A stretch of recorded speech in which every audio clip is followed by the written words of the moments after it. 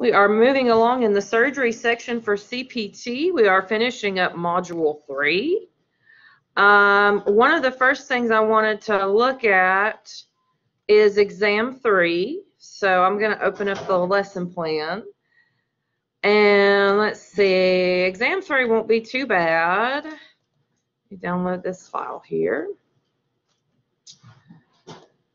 Okay, so some of the things you're going to want to know before going into this exam. Anesthesia codes all must have a physical status modifier. And I put some notes there because you're going to see somebody with a history of breast cancer. Well, that's still going to be a P1, a history. It's not there anymore, so it's not a extreme status. Uh, mild systemic disease, P2, severe systemic disease, P3. So I'm just kind of giving you some hints on that one.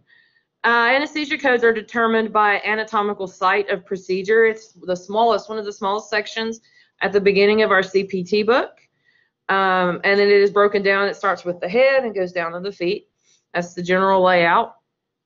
Uh, qualifying circumstances add-on codes. These are in the anesthesia guidelines, the two pages before the anesthesia section. So the ones that you're going to see are 99100. Now keep in mind if age is mentioned in an anesthesia code, it's not necessary to use that. That's a redundancy. Uh, hypothermia and controlled hypotension or low blood pressure. So these are codes you're going to see um, in your exam questions for anesthesia. And then conscious sedation codes. These are actually in the medicine section in the back of the book. Uh, and I think we'll look at some scenarios maybe. We'll see if that comes up. If a modifier is needed, this is how you write it out. You just put a dash. Um, the modifiers, I don't think we're going to have any directional modifiers. I'll probably uh, list uh, which modifiers are in this uh, exam in the PowerPoint. But that's how you write it out. That's the only thing I, we have with that example. That's how you write it when you're doing the exam um, if you input a code that needs a modifier. Uh, conscious sedation scenario. So again, this is in the back of our book. We have a chart. Um, I'm trying to pull up in my book here to see where it starts. It's a 99 code, which is just confusing since we've just gone over those. okay. Um, uh, turn to your model, uh, conscious sedation codes. This is going to be uh, it starts with code 99151 in the back of the book, the CPT book, which is our focus. So we start on 99151, and you do want to find the table. We looked at this last week, so if you want to review that lecture recording, that probably be a good idea. These codes are not hard at all. Um, Let's turn to that section, 99151. That's where the first code begins. And then turn your book page back to where you can see the table of service for moderate sedation. And again, 99151.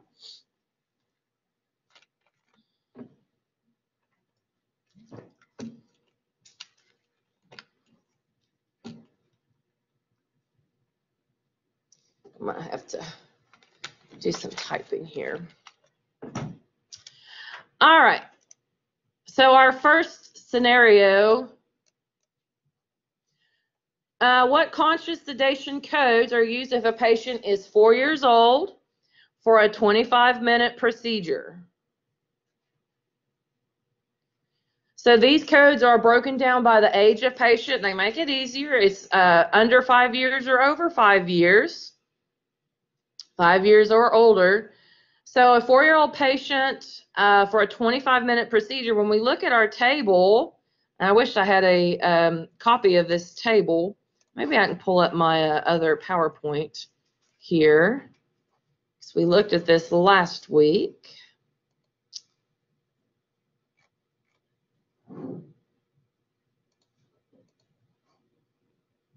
There's my conscious sedation table.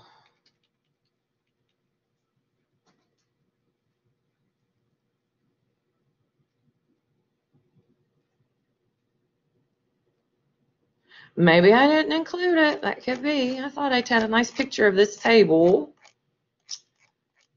Oh, there it is. All right. Okay, so in this table uh, that starts before the conscious sedation codes, we see the time listed there in the far left, the age of the patient, and the codes. Now there's two columns of codes. So 99151 is when it's done by the treating physician, by the same physician that's doing the procedure. And then the second column that starts with 99155, this is by a separate treating physician. So somebody's performing this procedure, somebody else is doing the conscious sedation. That could be like a nurse practitioner or some other um, qualified person. So we're not fooling with that. We are. We don't have any information that it's by a different uh, physician. So we're gonna go with the code set of 99151. The patient is four years old and they had 25 minutes of a procedure. So looking at our chart, we go to 23 to 37 minutes, uh, five years or older, and it gives us 99152 and 99153. So that captures this scenario. So we never put the X, times two or anything? No. Times one? No. Uh, so that's the first scenario. The next one, what conscious sedation codes are used if a patient is 24 years old? Wait a minute. Did I say he was over five years? He's younger than five years. I got myself confused already. Younger than five years, it'd be 99151, then 99153. I get confused with my less than and greater than signs. So this is less than five years, and the next one's five years or older. So I was thinking of the uh, second scenario. So my mistake on this one is 99151 and 99153 because he's under four years old, or five years old. He's four years old. So that's the two codes for his situation. The next one, what's the conscious sedation codes if a patient is 24 years old for 25 minutes? Okay, so we have 23 to 37 minutes, five years or older in our chart. That gives us 99152 and 99153. So these are two codes that captures his conscious sedation.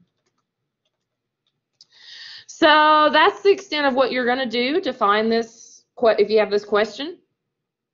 In the real world, though, like for example, on the other ones out, it gets into like 7850 units this time, so you would actually five three twice? No, uh, you would actually have a spot, like if you're inputting it in an EHR, you're going to have a box that asks for how many units of that code, and then you put it in that way. Okay, so code, and yes, yes. So one code is it's um, it's placed at a single value, and then you can have as many units of it as needed. So, um, and we're going to go over claim forms. Um, the paper claim form specifically, even though that's not really used a whole lot, but um, that'll help visualize how that is going to look. Uh, versed, if you see versed in a question, that's a type of moderate sedation or conscious sedation. So it may not be alluding to you specifically that it says conscious sedation, but that, I'm giving you a hint. That's what it means when it says verse. That's just a brand name. Uh, the key components of an E&M code. So the three key components are the history exam and medical decision making. All that's documented in the medical record. So you're going to need to know what those three key units are listed here and the levels of information that they can contain. Uh, easiest, starting with problem focus, going up to comprehensive is the most extensive and probably most expensive reimbursement of office time. But again, you're going to need to know the key components and the different levels. Uh, E&M relationships, the relationship between provider and patient is described as either new, established, or consultation. So you may see some questions saying the patient hasn't been seen in four years at the practice. That indicates that they're new. Uh, the patient returns to their family practice for a visit. That means they're returning. Uh, consultations, some things to keep in mind with that. Consultation is at the request of a doctor It's not a patient that seeks a second opinion or wants to consult with a doctor on something. A consultation specifically comes from another doctor. Uh, E&M highlights. So some of the codes here for preventive medicine, 99401 to 99404. Uh, the factor is time. Uh, and I have some notes here. If 38 minutes is documented, use the code that captures up to 45 minutes. If 55 minutes is documented, use a code for 60 minutes. So you're going to see these weird time frames, one or the other, and I'm telling you what it's going to be coded as. So maybe keep this PowerPoint handy when you do the exam. Another code that comes from the medicine section, 99024, that's a post-op follow-up visit. That code doesn't have a monetary value attached to it. It's for tracking purposes. But I know, for instance, Medicare, they mandate that this is tracked and reported because they're paying for this follow-up visit. They've already paid for it. So they want to know how their money's doing on, on the procedure they just paid for on the patient. So when you see something that says follow-up, that's what that means. And then you may see a code from the emergency department section, which is rather small, 99281 to 99285. Um, you're not going to be figuring out what a level is of an E&M code. It's going to tell you what type of history exam and medical decision making so you can find the correct code range. The different modifiers you will specifically see include 26, um, interpreting and evaluating results. When we talk about radiology and pathology next week, that modifier is used a lot for that because a physician may not have collected the specimen from the lab test, but they're interpreting it and they're giving their report and their um, actual opinion. Uh, bilateral 50, that's very common. Uh, 73, discontinued procedure before anesthesia. And then modifier 32 for mandated services. Uh, HCPCS level 2 modifiers that you're going to see, these are on the very back of the front cover of your CPT book. Um, these are on the internet as well, but the specific ones you're going to see, E1, that's a upper eyelid, left eyelid. RC, T4, T5, these are the toes, right and left modifiers. If a body direction or side is not provided, don't use a directional modifier. And exam three will not require you to actually type out a modifier to a CPT code. So that's going to be easy enough. Um, so you're going to have multiple choice questions on these. All right, for procedures, we're going to talk about surgery today. Uh, you're going to see a procedure asking for a code for a radical resection of a tumor. And keep in mind that codes are based in this section on size, less than or greater than two centimeters. Um, excision of bones, benign tumors, uh, areas of the head. Do not use left or right modifiers. So somebody has something on their left cheek or, or whatever, you don't use a modifier for that. You're going to see some procedure codes on arthroscopy. That's a visual exam of a joint. And that can be either diagnostic or surgical. And you'll see it for the anatomy of the knees, wrists, and shoulders. So this exam shouldn't be too bad. Most of it, it is multiple choice. So uh, that's going to be due next week. When there is a bonus point opportunity as well. So I'm going to stop my recording here to um, summarize the um,